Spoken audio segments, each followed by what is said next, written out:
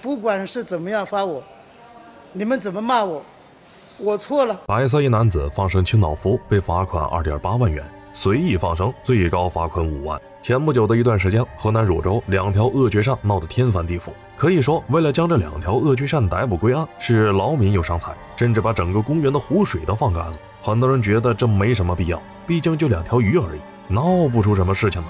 但很显然，事情没这么简单。鳄雀鳝对于水生生态的破坏力，那是降维打击级别的。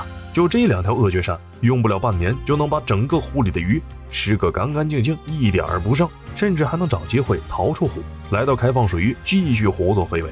这是一点儿都不夸张的。也是因为鳄雀鳝破坏能力着实强悍，这才大动干戈的，就为把这两条怪鱼捉拿归案。但不是没有正面影响，也是因为为了围捕这两条怪鱼，搞得如此之大的阵仗，这才让更多的人了解入侵物种的危害。很多人可能会好奇，这鳄雀鳝怎么来的？肯定不能是凭空出现的，这就不得不提到一种迷幻行为——放生。放生这个迷幻行为呢，算是由来已久了。从一开始的放生麻雀、放生耗子，到后来的放生各种鱼、放生蟑螂，再到现在放生牛奶、放生矿泉水，甚至还有放生电的。鱼，我信你全家！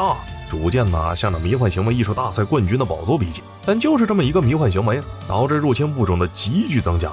前两天就又有人放生，把几条清道夫放生到了广西百色市长壁湖水库。放生的时候呢，还念叨着什么“阿弥陀佛，见者有福”，能不能有福没准儿。但是小伙儿，你肯定要面临一场血光之灾。那么清道夫的危害究竟如何？对水域会造成什么样的影响呢？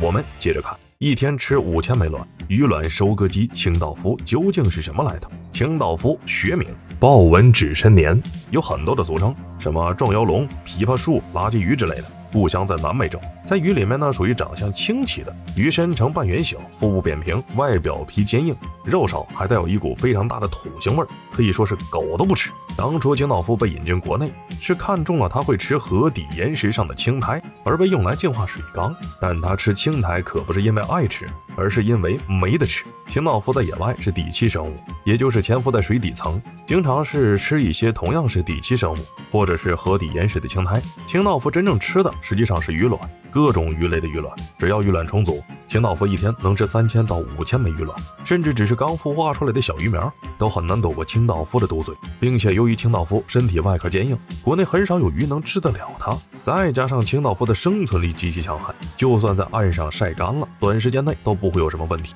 只要再接触水，就会活过来，继续到水底为非作歹。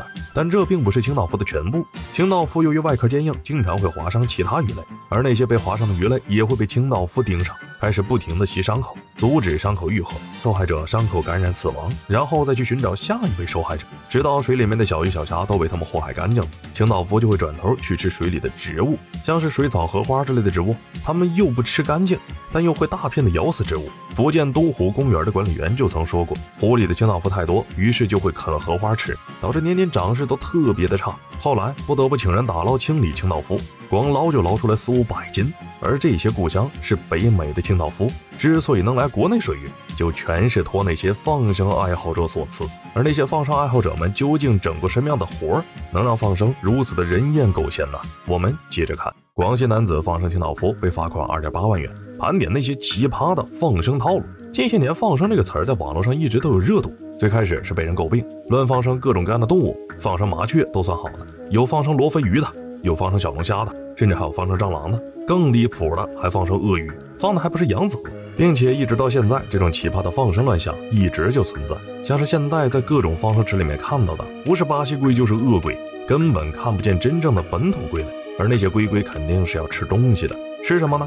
吃的就是其他人放生到池子里的鱼，没鱼那就只能是鳄龟吃巴西龟了。毕竟巴西龟根本打不过鳄龟，自始至终巴西龟就都是鳄龟的应急食品。而后来有一部分人并不是为了放生而放生，而是自己喜欢养一些奇奇怪怪的动物，比如鳄雀鳝或者清道夫。当鳄雀鳝长大之后食量大增，明显不是一般人能负担得起的。并且养了这么久呢，也不舍得弄死鳄雀鳝，也没法吃，怎么办呢？扔河里吧。河南汝州鳄雀鳝大概率就是这么来的。而在后来放生事件逐渐闹大之后，开始放生的就走野路子，像他妈放生牛奶、放生矿泉水，甚至还有放生电的。我怀疑你在电鱼，并且我还真的有证据。看起来呢就非常的离谱，危害呢就比那些放生外来物种呢小了很多。但也不是没有，并且就迷惑程度来看，也远比放生外来物种更有观赏性。更离谱的就是把巴西龟往深水里扔，把海鲜放生淡水货，以及放生毒蛇。巴西龟尽管是水龟，但依旧要依靠肺来呼吸。经常看见一帮人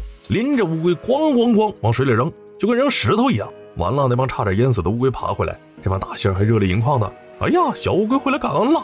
这也就是欺负乌龟不会说话呀。好了，今天的节目就到这里了。各位观众老爷们有什么看法？欢迎留言。我们下期再见。